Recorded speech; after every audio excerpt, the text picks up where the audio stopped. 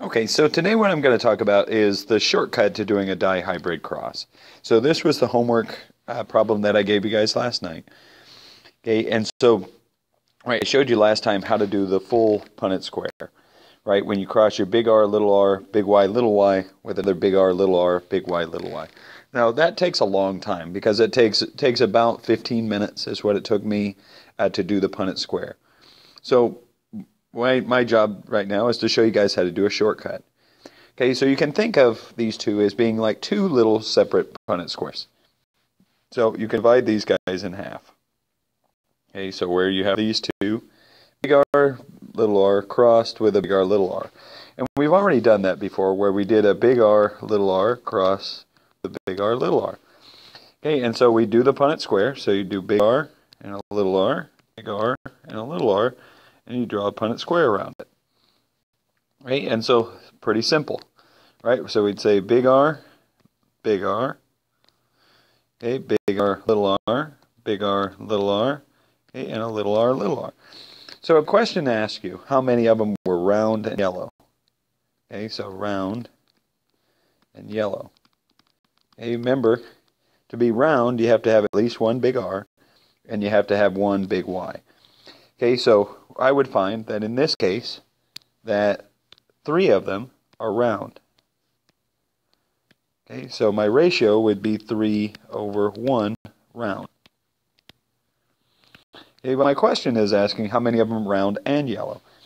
Okay, and so now what we can do, right, we can make it so now we're going to do the other, the other ones.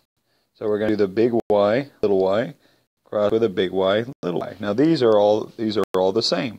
So you have big Y, little y, cross with a big Y, little y, and you do your Punnett square. And when you do that, what you'll find is you have two big Y's, big Y, little y, big Y, little y, okay, and then you'd have one little y, little y. Okay, and so what you would find is that you would find three of those would also be three go to four would be yellow. Okay, and so to find that, what you would do is you'd multiply those two together. When you multiply fractions, all you do is multiply the top by the bottom. Okay, so you would say 3 times 3 is 9. Okay, 4 times 4 would be 16. Okay, so that will tell you that you have 9 out of 16. Okay, and in doing that, now you can also figure out how many of them are going to be red. Right, so that's one. So then we would have 9 out of 16 would be red and yellow. To do the other one, so we do round and green. Okay, so round, we already have the fraction.